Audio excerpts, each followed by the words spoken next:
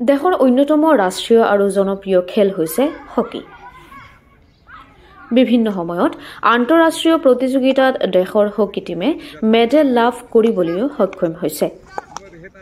কিন্তু কাছাৰ জিলাখনত হকী খেলৰ জনপ্ৰিয়তা খুবেই কম বা নাই বুলিয়ে ক'ব পাৰি। কিন্তু জিলাৰ পৰা পুনৰ হকী খেলখনক দিশ দেখুৱাবলৈ সক্ষম হৈছে এজন ব্যক্তি। তেওঁ হৈছে নিৰ্মাল্য নাথ। নিৰ্মাল্য নাথৰ তত্বাৱধানত চৌৰাশী জনতকৈও অধিক খেলুৱৈ শিলচৰ ডি এছ এত প্ৰতিদিনে অনুশীলন কৰি আছে। দেখুন আমি তো বাড়ি হলো আমার লালায় হাইলাকান্দি লালা। আমি স্পোর্টসের সঙ্গে খুব ইন্টারেস্ট ছিলাম। আমি স্কুল লাইফ থেকে স্পোর্টস করেছি। বিশেষ করে আমি ভলিবলটা বেশি ফোকাস করেছি। আমার খুব ইন্টারেস্ট এরপর তো হকি হকি স্কুলের ভিতরে একটু জায়গা ছিল আমরা কয়েকজন মিলে বাঁশের বাঁশের বাঁশ দিয়ে স্টিক বানিয়ে আমরা খেলেছি। বাঁশের গুড়া দিয়ে বল বানিয়েছি আমরা কয়েকজন হকি খেলেছি। আসাম পুলিশে বহুদিন বলি বল খেলেছি। এরপর শিলচর এসে দেখলাম পুলিশ টিমে হকি নেই। হকি স্টার্ট করলাম। পুলিশ টিমে এসপিকে বলে। তে বহু সুনামের সঙ্গে সতেরো ইংরেজি পর্যন্ত দুই হাজার সতেরো ইংরেজি পর্যন্ত খেলেছে ডিএসএফ। পুরা সুপার লিগ ভলিবল কাবাডি মেয়েরার মেয়েরার কবাডি টিম বানিয়েছি মেয়েরার ফুটবল টিম বানিয়েছি পুলিশে সবাই চাকরি পেয়েছে। এরপর আমি রিটায়ার্ড করার পর এখন পুলিশে আর কোনো টিমই নেই। এই দুৰ্ভাগ্যৰ বিষয়। গোটেই বছৰটোত শিলচৰত হকীত মাত্ৰ এখন টুৰ্ণামেণ্টহে অনুষ্ঠিত হয় আৰু ছোৱালীবোৰৰ বাবে কেৱল এই মেচ অনুষ্ঠিত হয়। ফলত হকী খেলুৱৈসকলৰ কিমান ধৈৰ্য আছে সেয়া স্পষ্ট। এই এখন প্ৰতিযোগিতা আৰু এখন মেচৰ বাবে তেওঁলোকে গোটেই বছৰটো অনুশীলন কৰে। নিৰ্মাল্য নাথৰ প্ৰচেষ্টাৰে বিভিন্ন সময়ত শিলচৰৰ কেইবাগৰাকী খেলুৱৈয়ে ৰাষ্ট্ৰীয় আৰু ৰাজ্যিক দলত খেলাৰ সুযোগ পাইছে। অহা দিনতো আৰু তিনিগৰাকী মহিলা খেলুৱৈ অংশ ল'ব ৰাজ্যিক দলৰ হকী শিবিৰত। জন্য আমি দুবার মতলব গিয়েছি আর তো উনি আমাকে পাঠিয়েছিল তো টাইম টাইম টাইমের জন্য আমি গিয়েছি এটা কথা।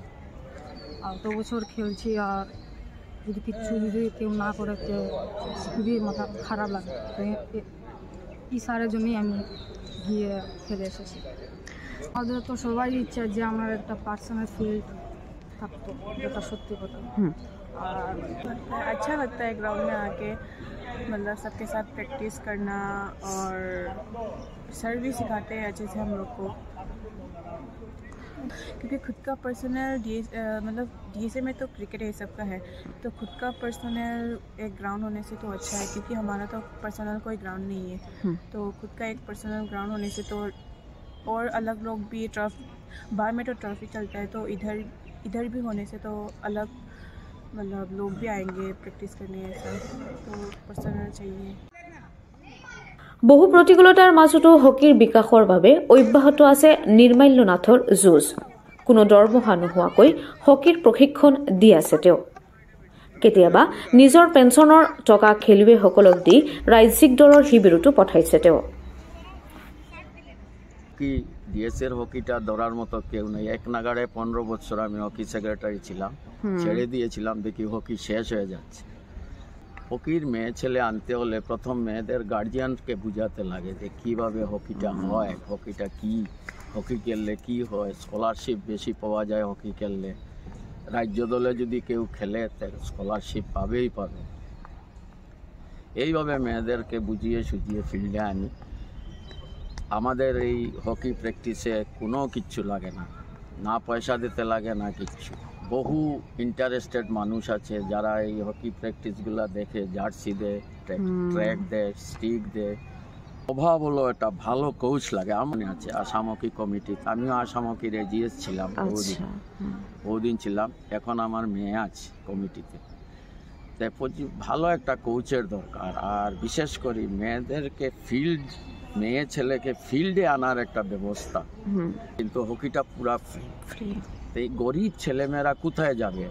আমাদের ছেলে মেয়েদের মধ্যে কেউ মাছ বিক্রি করে কেউ ঠেলাওয়ালা কেউ আপনার মাটি টানে কেউ রিক্সা চালায় ওদের ছেলে মেয়ে তার জন্য ওদের তো একটা প্ল্যাটফর্মের দরকার তো। আমি স্কুলে স্কুলে গিয়ে ছেলে মেয়েকে মাস্টারকে বুঝিয়ে এগুলাকে এনেছি।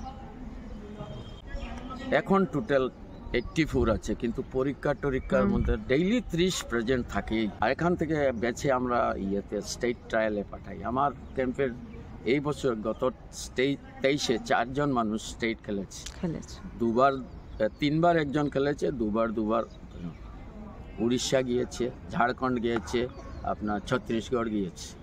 এর মধ্যে সবচেয়ে বেস্ট হলো সৌরভ হাজাম। ও তিনবার খেলে নিয়েছে এবার আবার যাবে। বয়স আছে জুনিয়রে খেলছে সিনিয়র তো বহু বাকি আছে এখন। রিসেন্ট একজন গিয়ে এসেছে আর বর্তমান দুজন আছে যে যাবে একজন যাবে ইম্ফল একজন যাবে আগরতলা এদের সিলেক্টেড ওরা মানে গিয়ে এসেছে ট্রায়াল ক্যাম্প করে। ওদের সিলেকশন ইম্ফল গন্ডগোল না হলে ওরা চলে যেত এখন। আগরতলা একজন দুজন যাবে ইয়ে ইম্ফলে আমরা যারা যারা এই চ্যানেল থেকে এগুলা দেখবে সবাই আমাদের ছেলে মেয়েকে আশীর্বাদ করুক যাতে আপনার চ্যানেলের জরিয়াতে, যাতে আমাদের ছেলেমেয়েরা একটু উন্নতি করতে পারে।